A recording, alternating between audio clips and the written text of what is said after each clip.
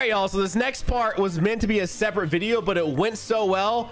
And you guys enjoy the long video, so I figured we'll just make it one long the movie. Enjoy.